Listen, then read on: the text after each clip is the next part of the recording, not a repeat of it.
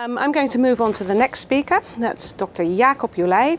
And Jacob is a cognitive neuroscientist at the Department of Experimental Psychology of the University of Groningen. He got his PhD in neuroscience from the University of Amsterdam again, working with Victor Lamme, who's quite well known for his work on consciousness. And the PhD was on conscious and un unconscious visual processing in early visual uh, processes. And he also did postdocs abroad with similar materialistic approaches to investigating how the brain produces consciousness. Until that is, he came to the conclusion that it doesn't. Um, that and that there has to be more to an explanation of it. He then started doing parapsychological research, I think, uh, you know, out of the mainstream view, and he wrote a book uh, that's unfortunately only available in Dutch with the title Wat is bewustzijn nou eigenlijk, which means what is consciousness really? And it includes the beginnings of his own theory of consciousness as, of, as a dimension in the physical universe. So the title of his talk is Higher Dimensions of Consciousness. Jacob, looking forward to it. The floor is yours. Well, thank you, and, and thanks for having me. Um, really great speakers thus far, and I hope I can contribute something uh, as well. Um, on the one hand, unfortunately that Eric could not join us for the remainder of the session. On the other hand, I'm going to talk a lot about physics as a non-physicist, so it reduces my stress a little bit. Um, let me share my screen with you so that we can um, start the presentation. And I hope that you have my presentation now. Uh, that one. Okay. Wonderful. So um, let me play the presentation and there we are. So um, today I'm going to talk about this idea that developed during the writing of my book, What is Consciousness Really? And to be fairly honest, it's the most silly idea that I uh, could think of, but it works. So today I'm going to talk a little bit about how consciousness relates to natural science, I'm going to spend quite a bit of time on this idea about consciousness as a separate dimension. Um, but I'm also I'm going to try to spend a little bit of time on coming from theory to an actual prediction. Now, um, are you seeing my full image or my uh, my speaker's notes? If full image, full image. Oh, that's brilliant. Okay.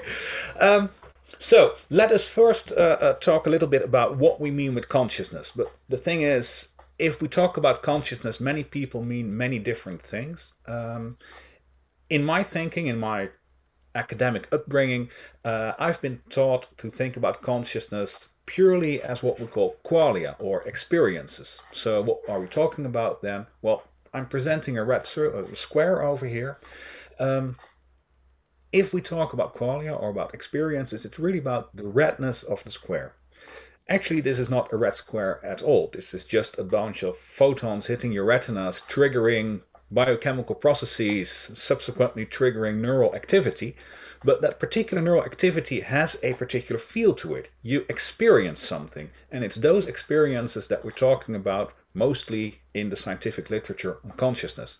So even though all these discussions about ego, the feeling of a self, um, all these things that we associate with consciousness are vitally important for our human being. The core, the pure essence of, of consciousness is this awareness, this experience, this qualitative experience. And this is what I will be talking about when I talk about consciousness. Well, is this important? Well, actually, it is. Um, just a couple of weeks ago, a paper appeared from a group of experimental philosophers who asked uh, uh, research participants a question about a conscious or supposedly conscious robot. And actually, it comes quite directly from uh, one of my favorite science fiction series, uh, Star Trek The Next Generation. Um, that series actually featured an episode in which one of the main characters, an intelligent android, Data, it's the character in white over here, um, Data is an extremely complicated and sophisticated android. Uh, he's so sophisticated that he actually functions as a human being. Um, he responds as a human being in many uh, uh, circumstances. But Data does not have conscious experiences, or he does not have qualia. Now, in this study by Sytsma et al., these experimental philosophers, they asked two groups of participants to read a story about a data-like uh, android. So the story went like this. In the year 21XX, we have developed a robot that is so complex you can't really distinguish it from human. It acts like human, it looks like a human, and if you ask it, Are you human? it will tell you, Yes, I am human. However, the robot does not have conscious experiences. Another group was given pretty much the same story, and that story read in 21XX we have developed a very complicated uh, humanoid robot. You can't distinguish it from an actual human. It uh, speaks like a human, looks like a human. And this robot is so sophisticated, it actually does have conscious experiences. So it does have these qualia. Now, both of these groups were asked the question, would you assign this robot human rights? Now, the interesting thing is, by far most of the respondents in the group who got uh, uh read the story about the robot without conscious experiences, they actually said, well, it might look like human, it might act like human, but it doesn't have conscious experiences, so we don't have to give it human rights. Whereas the people in the other group, uh, the majority, the vast majority said, well, it looks like a human, it acts like a human, and it has conscious experiences, so we should give it human rights. Now, this does tell you that this notion of conscious experience regardless of any kind of further complexity, this notion of conscious experience is really important to us if we try to understand consciousness. So that is what I'm going to, to talk about and look at in, in the remainder of this lecture. So purely experience. So I'm, I'm going to let go about more complex notions of consciousness. I'm focusing purely on conscious experience.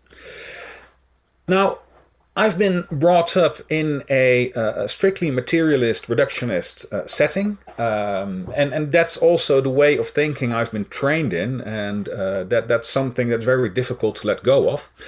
But basically, what we are trying to do as natural scientists, um, scientists who want to understand how the world works and how consciousness fit in is basically that we try to find a place for consciousness in our physical description of the world. And i've illustrated that physical uh, uh picture of the world here by means of a nice uh, illustration of bob ross. Um, basically this is a nice metaphor of how the universe works so we have a canvas, which is space-time, and space-time is basically a big container for all these elemental particles, which Bob Ross here has on his uh, uh, artist's board, but are basically the pigments that are on the canvas. Now these pigments are moved in rather particular ways. Now in most of Ross's paintings you can kind of predict that it will be a landscape and every now and then you have an unpredictable tree or happy cloud. Uh, suppose that I wouldn't have used Bob Ross but uh, Jackson Pollock, it would be random splatters, and if it would be Henk Helmantel, a very famous Dutch painter, it would be exact, uh, very exact uh, still lifes.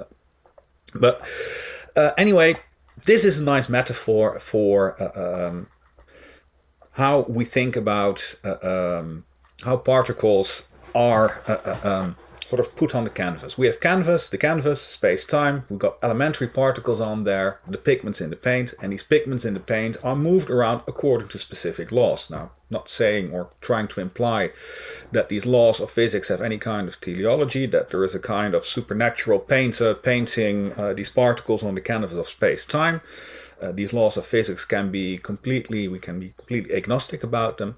But when talking about uh, uh where should we put consciousness in our natural science picture of the world? I think it's a useful metaphor because it can make us think a bit about, well, where would you try to find consciousness? Where would you find to, uh, try to, to, to find these qualitative experiences? Because somehow these qualitative experiences, the feeling of red, the feeling of warmth, the feeling of cold, they should have a place somewhere within this particular setting, within this setting of either in space-time, either in the configuration of particles, or maybe emergent from the laws of physics, which is kind of what I tried to represent here. So it could be that consciousness is somewhere on the artist's palette. It could be that it's somewhere emergent from the laws of physics. It could be that it's somewhere within space-time. But actually, most of the time we think about consciousness as being emergent, uh, it's a property of the actual picture that has been put on the canvas. But anyway, the big question is where do we fit in this idea of the redness of red, the warmth of a cup of coffee? Now, in contemporary psychology, um, we pretty much teach our students this. Minds are simply what brains do. And actually, this is such pervasive in the study of psychology is that it actually in our introductory psychology textbooks. I've been teaching introduction psychology uh, for, for, over five or six years at the University of Groningen. And um, actually, in, in, in the Gazzaniga textbook, it basically says consciousness is the experience that's the product of brain activity. Now, of course, the latter is a big assumption, but this is what we have been training generations of psychology students and neuroscientists. The uh, claim minds are simply what brains do is, of course, a logical one. Uh, if you look at most mainstream uh, uh ideas about consciousness, it basically states that consciousness is a brain process. Now, in my metaphor about the universe as being a painting by Bob Ross, it would basically say that we think of consciousness as an emergent property. Consciousness exists because of a very particular configuration of the particles on the canvas or in space time. So essentially, consciousness just comes about because, well, particles are arranged in a particular way. There is a particular picture on the canvas, and that is consciousness. Now, we have heard a lot about emergent properties already in the previous two talks, and um, there is, of course, a lot to say for this idea that consciousness indeed is an emergent phenomenon. However, the problem with emergence is that you also stumble into some problems with regard to what is then an emergent property. And actually, quite nicely, uh, that's illustrated by the paradox of Theseus' ship, and this is actually an interesting picture. This is uh, uh, a picture I took from the Lego's idea, uh, ideas website. So Lego has this uh, competition where you can send in an idea for a new Lego set. And this is, if it gets accepted, the first philosophy-themed Lego set there is. It's a representation of the ship of Theseus. Uh, Theseus is a Greek classical hero. He went from Athens to Crete and in this version of the story, coined by Aristotle, um, Theseus lives in a ship that's in a rather deplorable state. Uh, actually, it's so bad that during his voyage, uh, Theseus has to replace several of the boards of the ship. Um, at some point during the voyage, he even has to replace the entire sail, and this goes on and on. And by the time that Theseus returns from Crete in Athens, he actually has replaced every single board there is on his ship uh, and also fitted new sail. Now the question is, does Theseus arrive on the same ship or is this a different ship? And this is a, a very famous paradox in, in philosophy because you can answer this in two ways. You can say, well, no, it's not really the same ship because every single element of the ship has been replaced. You could also say, well, it's still the same ship because it's Theseus' ship. Um, and even though he has replaced some things, the basic thing is still there.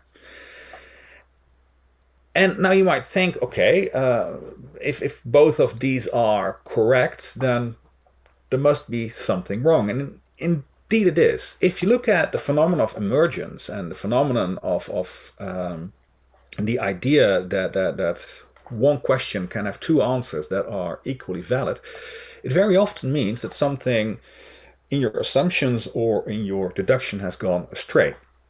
And in this case, Aristotle solved this particular paradox by stating that, well, the question, is this still Theseus' ship, is basically a wrong question because we have not properly defined what Theseus' ship is.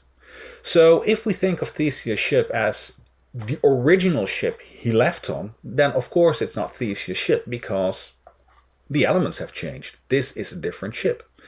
Think of the band the Sugababes. Uh, it's a girl group which has been uh, uh, well three girls, and over the past 20 years, uh, each of the individual girls has been replaced. Is this still the same band? Well, from a certain point of view, yes, because the management still books the Master Sugababes. But the interesting thing is the three original singers have now regrouped as the original Sugababes and um, so the question is, to which concert do you go if you want to see the Sugababes? Well, it depends on your definition of well, what the real Sugababes are. And similar thing for Theseus ship. It depends a bit on your definition what Theseus ship is. Now, why am I telling this? Because this actually is a, a, line of reasoning that goes for many emergent properties. An emergent property is very often dependent on the level of the observer. Uh, an emergent property is a way to describe the state of the world in a more efficient way. As Professor Verlinde called this as a reduction of information. Now, the difficult thing with information is that it very often implies a kind of intentional agent. You have to do something with information as an observer or as an agent. Now, in physics, they're quite agnostic to this, but in terms of, of thinking about consciousness, you very often and very quickly get into these difficult issues about agency, the role of the observer, etc. So the problem with the entire issue of emergence is that yes, properties might emerge from lower level features, but they require an observer. There's always a kind of hidden element of, of well, an intentional agent who has to observe a system to make a property emerge. And the problem, of course, is if we're talking about consciousness, if we're talking about the idea of self-consciousness, who or what is then observing the world so that my consciousness can emerge? Now, there are many different ideas about that, including the idea that might be some kind of strange loop in which I observe, or my consciousness observes uh, itself. Um, but I always find these uh, uh, discussions a bit difficult, and in particular because the concept of emergence, or the idea of the mind as an emergent property of brain activity, is uh, uh, very often uh, uh, well rather poorly specified. When does something emerge? How complex does a brain have to be in order to have something emerge? Now there are some ideas about that, for example, integrated information theory, but these ideas are, typically uh, uh, um, rather poorly specified. However, being a brain scientist and having been brought up in this idea that mind is what the brain does, let us continue a little bit along that line of reasoning. So I have uh, brought here a picture of a brain, I have brought here a representation of the redness of red, and somehow these two are related. Now they're not the same, and that's the reason why I am not uh, uh, using the equal sign here, but rather the equivalent sign. But the big problem that we're trying to solve in contemporary cognitive neuroscience is which brain states are equivalent to what particular qualitative states or experience states. Now, interestingly, and this is something that we have heard in, in the previous talks, also the talks of, of uh, last Tuesday, is that one of those particular brain states is the state of feeling a self.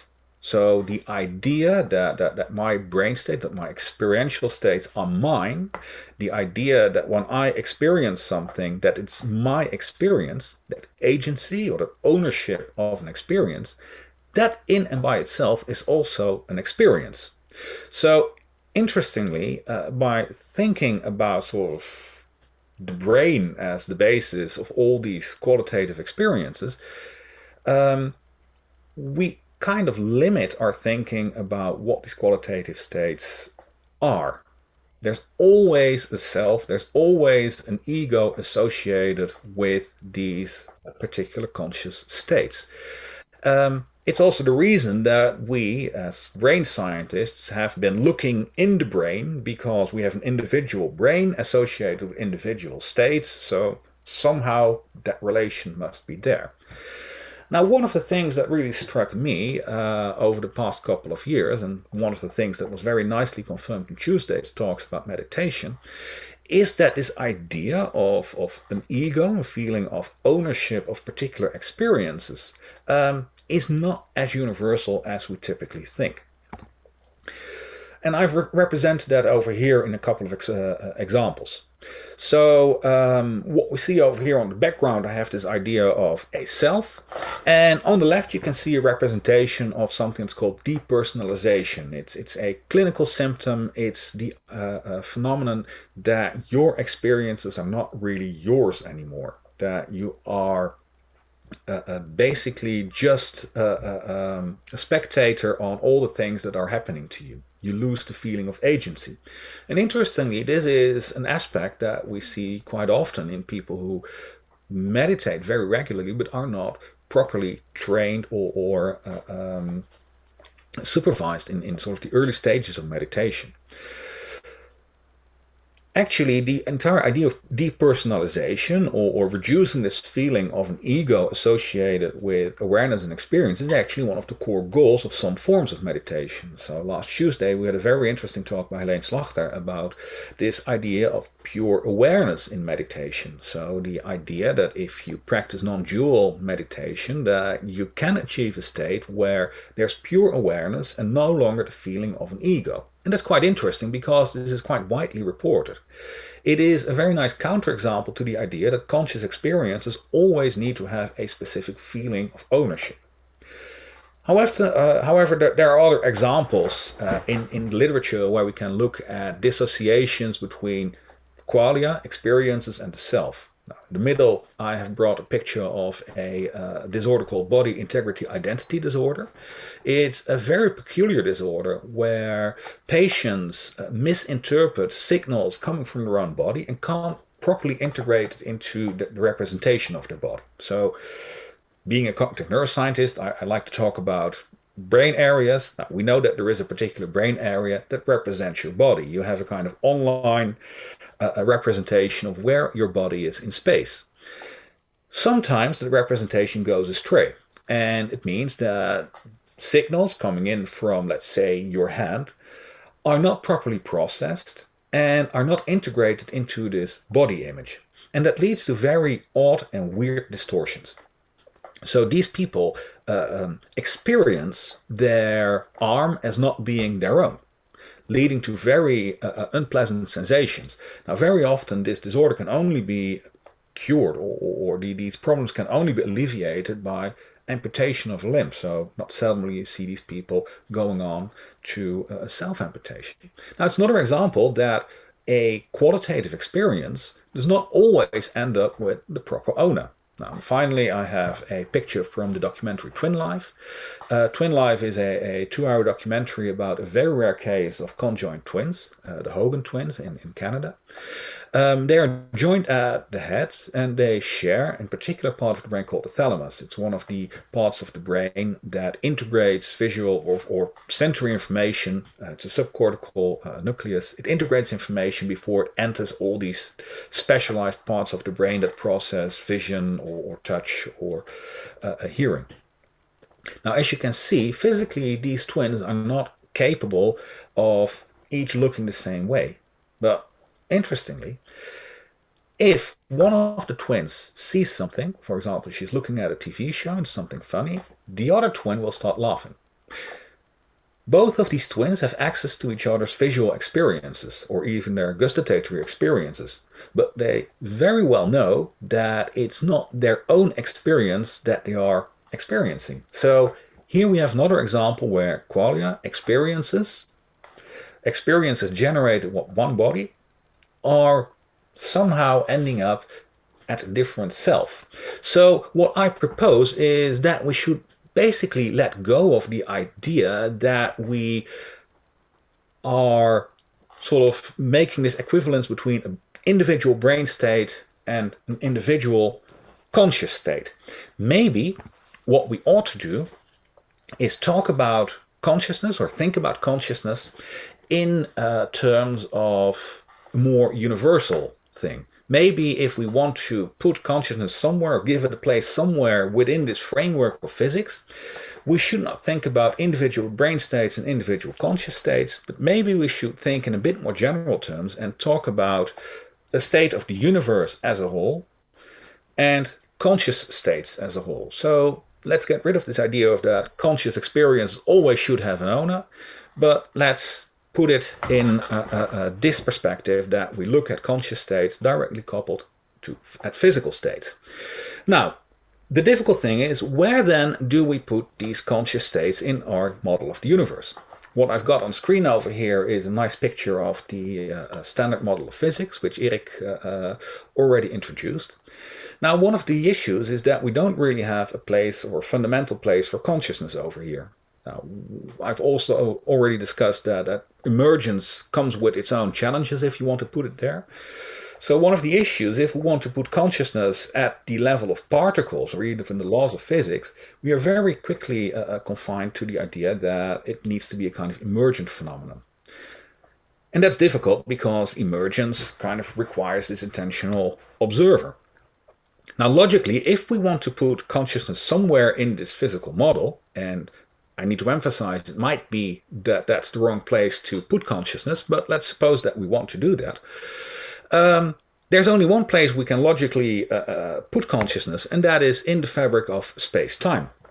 Now, here, this is where things get a bit weird and uh, uh, uh difficult, possibly, but logically speaking, if we want to introduce consciousness somewhere in this physical model, and we want to have it as a kind of fundamental and not emergent property of our physical universe, there's only one place that we can logically introduce consciousness or, or fumble in consciousness, and that is in the fabric of space-time.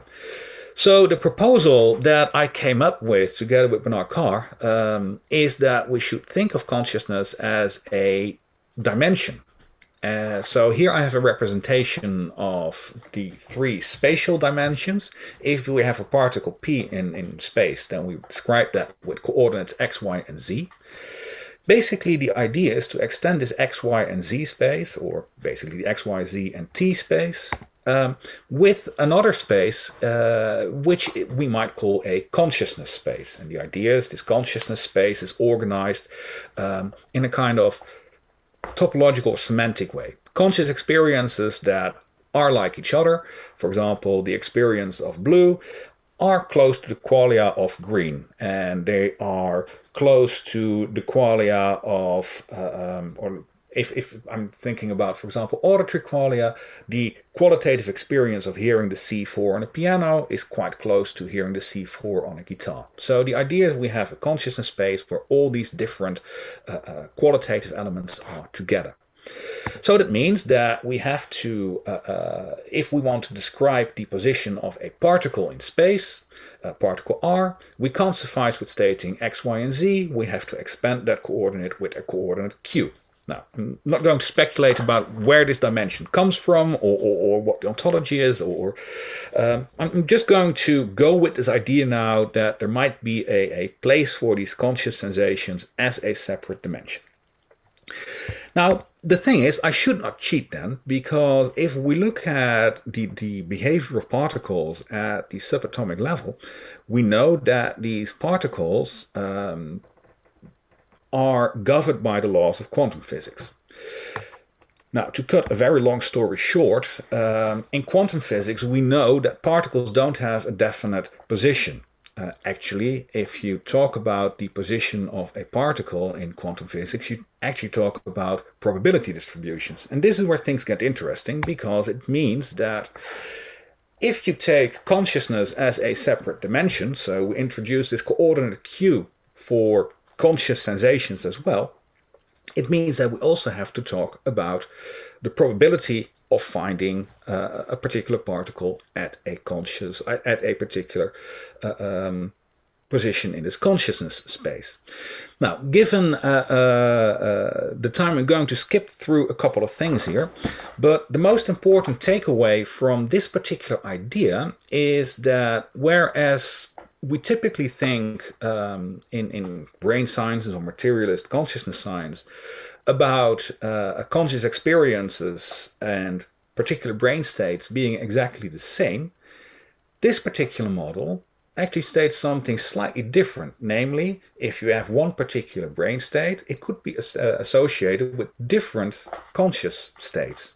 However, there's a most likely one, but there's a kind of continuum there. So there is a probability relation between my brain state or the state of the universe and a particular uh, particular consci uh, conscious sensation that goes along with it. Um, for the sake of time, I'm going to skip the physics parts over here. Um, but the uh, um, model basically states um, what happens during uh, uh, uh the time what, what happens is that we have a kind of evolution of the universe. Uh, you can think of that as a well, what's called a brane. Uh, it's it's a brane that moves through space time, and with every tick of a kind of cosmic clock, particles are sort of fixed on that particular canvas, and if these particles get their definitive position, they're also assigned a particular position in consciousness space. But this relation between the physical state of the universe and, and where and, and, and what kind of conscious sensations end up associated with that is not completely fixed. It's not completely uh, um, uh, governed by what we might call the laws of physics. Now, and that's interesting because it leads us to uh, being able to do particular predictions about what might happen. So I'm going to show you some data of uh, an experiment we did uh, two years ago just to illustrate this uh, particular point. Um, but let me first uh, uh, uh, re reiterate the, the, the, most important aspect over here. So basically what we're saying is that each particle, um, let's say the particles of my brain, they're moving through space-time. The moment they are sort of quite uh, uh, close, uh, uh, quite at the same position. They're just moving through time. And every tick of a kind of cosmic clock, they also get assigned a definitive position associated with particular qualia. Now, in this qualia space, qualia or experiences that look like each other are close together. And it's quite interesting because it means that we as an audience also have our qualia quite cl uh, close together in this qualia space because we're all kind of looking at the same slide at the moment. Uh, so that's interesting because even though the particles of our brains are physically at different places, they are at quite the same place within this qualia space. So there is a kind of connection over here.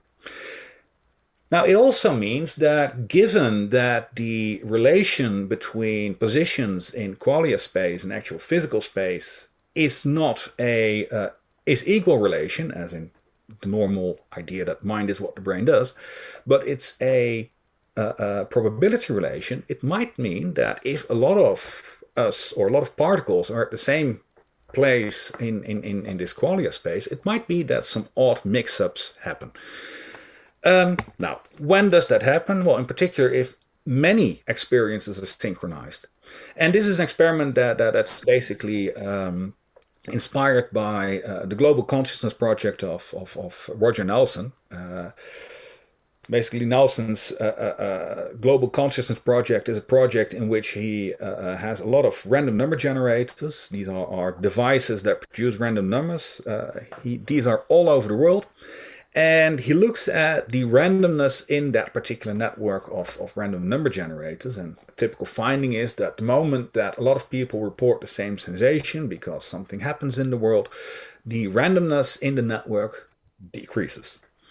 Now, interestingly, uh, something similar happens at music festivals. Dean Radin did an experiment at the American Music Festival Burning Man. Um, and at Burning Man, uh, the festival ends with, with, with, well, literally the Burning Man.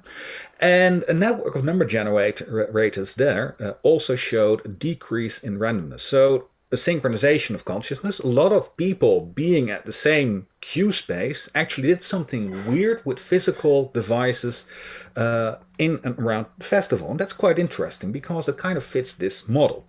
So we did this experiment at Lowlands uh, Dutch Music Festival two years ago. We had a nice uh, number generator uh, there, and I can tell you all about that in the panel discussion later on. But the most important thing uh, I want to show you is here. Um, what you see over here is a graphical depiction of the results that we have over here. And I'd like you to look at the, the blue line.